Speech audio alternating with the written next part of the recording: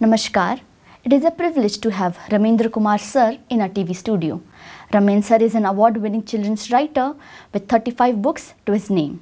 His writings have been translated into 15 Indian and 14 foreign languages.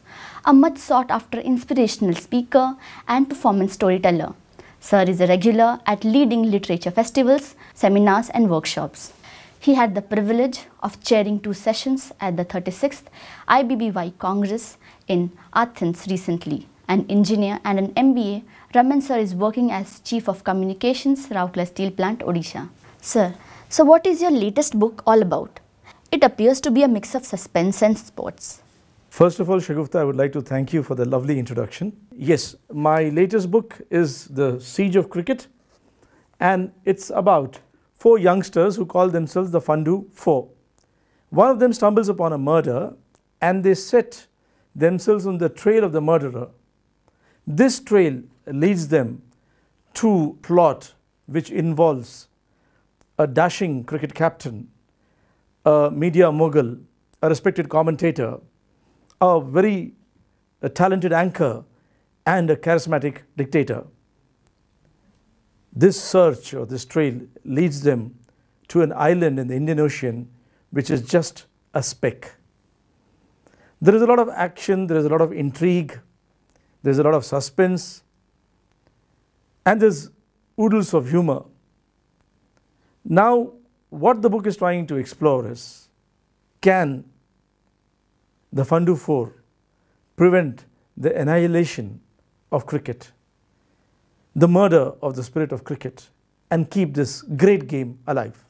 Sounds very interesting, and I'm sure people will also love it. What makes sports fiction so appealing to you? Your previous books have uh, covered several sports. Yeah, the first uh, book of uh, on sports which I wrote uh, some years ago was called Now or Never. It was about boxing. It talked uh, about the connect between a father and his son through the medium of boxing. It was kind of autobiographical because I have been hugely inspired by my father. And uh, in this book, the father sacrifices his professional career for his son. And in that process, he becomes an alcoholic. So when the son grows up, he gets his father back to the sport and gets him to be a champion. That was my first book.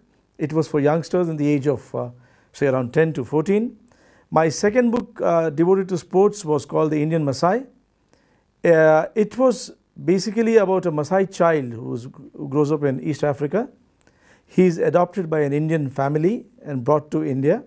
So, how he adjusts and assimilates the Indian society, the, the Indian way of living, and how his adopted family encourages him to use his incredible talent in running, in sports, in sprint, to win uh, India its first gold medal.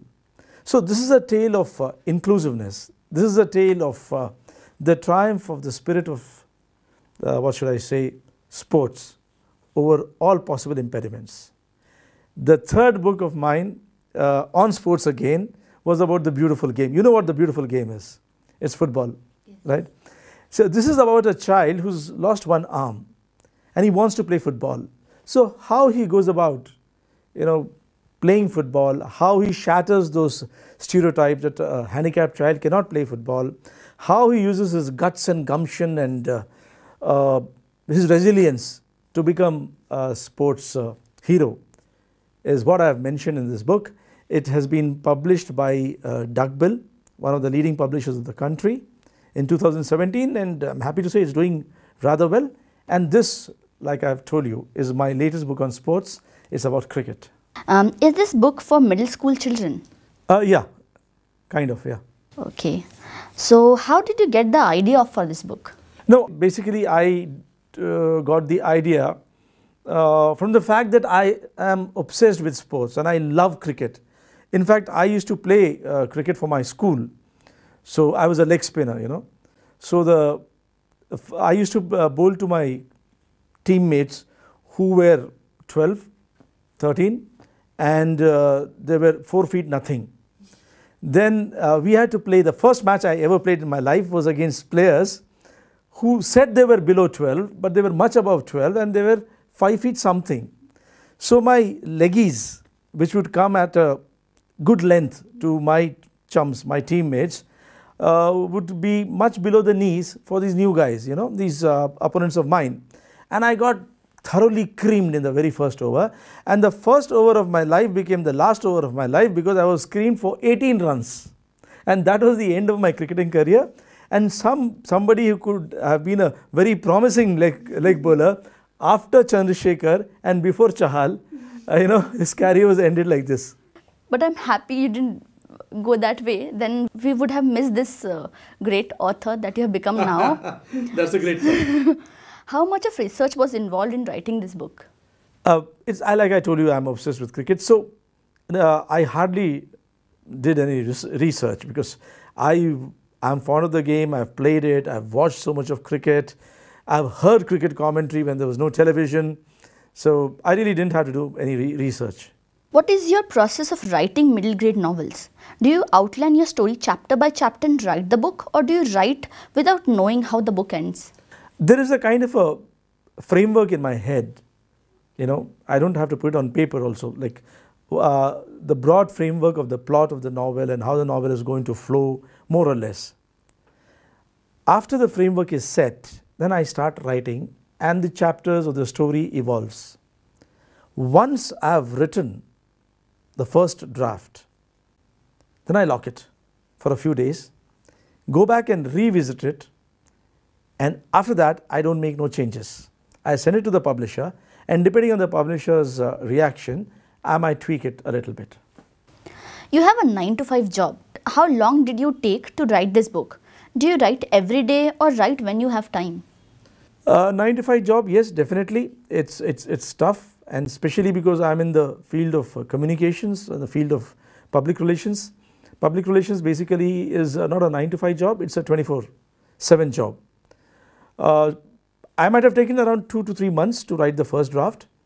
I don't uh, write uh, in a very disciplined way, you know, like from 7.30 to 8.30 I'll write, then I'll have my dinner, then, then from 8.45 to 9.45 I'll write, then I'll uh, go for a walk and then I'll write for seven and a half minutes. No, I write when the ideas come to me, but when the ideas come to me, I write like hell.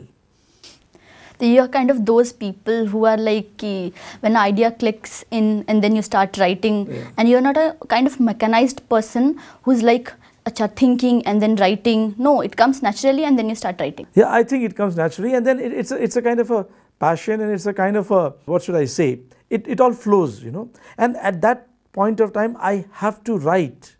I just but can't stop writing. Because you get a lot of ideas and you're like in the set and in the mood to write. Yeah, absolutely. Okay. Can you read a passage from the book? Yeah, sure. That would be my pleasure. I'm uh, reading a, a passage which actually is the turning point as far as the book is concerned. Just then, Ramkumar's cell phone rang.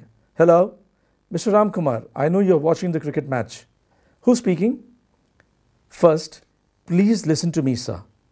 Vicky has deliberately lost the match. What? Yes, sir. He is guilty of match fixing. You're talking rot. He is such an accomplished player, a committed cricketer, and the captain of the team. He will never do that. I have proof, sir. Can you come to my house? Ramkumar hesitated for a moment. Yeah, I'll be there. But it better not be a hoax. 20 minutes later, Ramkumar was ringing the bell of the flat. It was on the fifth floor of a 10 story building. There was no response. He rang the bell and waited, and then gently pushed the door. It opened. He went in, followed by his daughter, Neha. She looked over his shoulder and screamed. A man was sitting sprawled on the sofa. He was clad in a light blue t shirt and a pair of dark blue jeans. He seemed to be in his 30s and had a dark, round face, a blob of a nose, and large, round eyes which were staring at them. On the pocket of his t shirt, there was a hole from which blood was oozing. The plot seems really exciting, and I'm sure the novel would be a page turner. Are any of the characters in the book based on real people? Yeah, there is a character in the book uh, called Simran. She's a young lady, 22, 23 years old. So she is a person who, with no background in uh, commentating, and she just walks into the studio, gives an audition, and she gets the job. And then, because of her sheer talent, her wit, and uh, her brilliance, she becomes uh, as good or as well known a name as the persons she is interviewing or interacting in the studio. She has been based, her character has been based on Harsha Bhogle, who uh, was my senior in school and who everybody knows uh, without having a background uh, of the kind which people would uh, really like to include in a commentary team has uh, now become one of the most popular commentators in the world. He is called the voice of uh, cricket. And incidentally, this book has also been endorsed by him. That's really nice. And which is your favorite character from the book? Yeah, thanks for this question because uh, there's one character I really, really love. I grew up in Hyderabad. So there was this, uh, this name I have borrowed. Uh, he used to run a grocery store. His name was Shukur Mia. Yeah. So this character in the book is a thug. He's a gunda. But he's a gunda with principles. So he's, uh, his uh, business is to sell tickets in black. You know, Daska Bees, Daska Bees, Daska Bees and all that. In the 70s and 80s, this was very, very popular. And he has his own area marked out.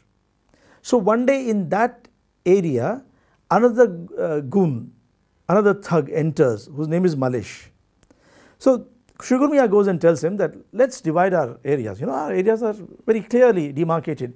You operate in your area, I have no issues, and let me operate in my area. That guy doesn't listen to him and even tries to murder Shukur Mia. Then Shukur Mia gets back at him, creams him, practically decimates him, and then moves on to improve his, enhance his business.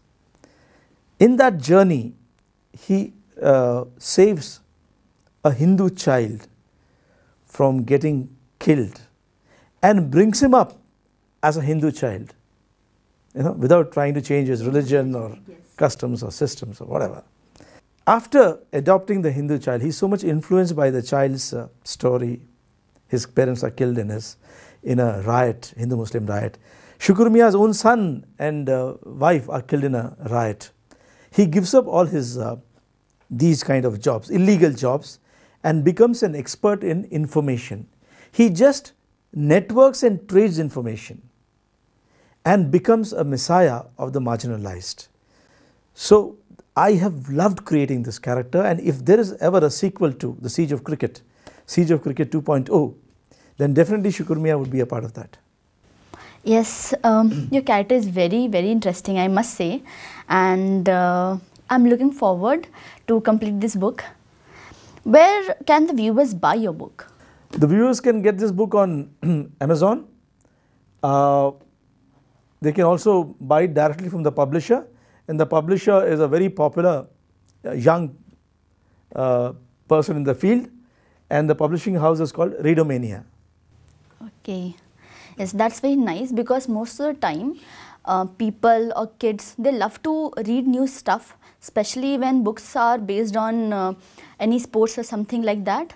But uh, most of the time they don't get it online. But I'm happy that Amazon is uh, having your book and uh, anyone can buy it from Amazon. What can kids expect from your book?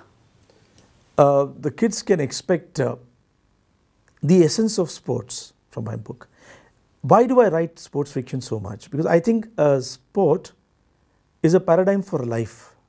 Like there are ups and downs, like life is a roller coaster. Sports is also has its, uh, has its crests and troughs. Sport is not, uh, through the medium of sport, I reach out to my readers and talk about values, about honesty, camaraderie, teamwork, resilience, and uh, the ability to, you know, triumph over all odds, to convert every uh, challenge into an opportunity. And uh, the second thing about the book is that I have tried to make it as uh, fast paced as possible. It I, ha- I hope you will find the readers would find this book like uh, you know the like Harsha has said as exciting as a T20 thriller. They would find the characters interesting because they are in the here and now. They are not once upon a time. They are the characters like Shagufta or Shirin or Vijay or Ajay, people around us, not big big celebrities and all that. And uh, also through this book, I'm trying to communicate that cricket or any sport is above everything. It's above any kind of uh, corruption. Uh, it's above any kind of uh, uh skullduggery. And uh, each one of us should uh, try to imbibe this spirit of sport in our lives to become more empathetic, to have greater synergy with the society, and to become more human and humane beings. I've noticed one thing is that the characters of your book are quite relatable. As the current generation loves reading sports and our generation is, is in love with sports. So I hope that uh, people and our viewers who are watching this will love your book and uh, will pass on the message to everybody कि book बहुत अच्छी है पढ़ना चाहिए उसे और। So thank you for sharing your book and your knowledge with us thank you thanks thank you